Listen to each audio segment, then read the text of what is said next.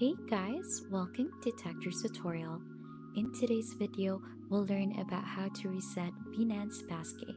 It is a step-by-step -step guide to follow easily and don't forget to hit the like and subscribe button. So let's dive right in. So you could join Binance now by signing up with the link provided in the description box below to claim up to 100 USDT limited time trading free credit reward. Now let's dive right in onto resetting the Binance Passkey.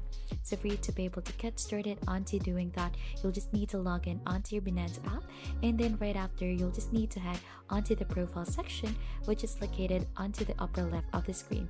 So this should be a profile icon that you could see here onto the upper part. Click onto that and then right after once you're already in, you'll just need to click onto security. So once you're already in there, you'll just need to click onto passkeys and biometrics. And once you've clicked onto that, you should be able to see in here the passkeys and biometric and there are two icons here onto its sides.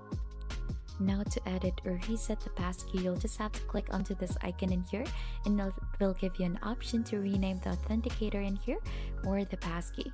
Or if you want to delete it, there's another icon beside it which is the delete icon. You'll just have to click onto this to completely delete your Binance passkey. And that's just basically it onto resetting your Binance passkey. And if you think this has been helpful, don't forget to hit the like, subscribe, and we'll see you onto our next video.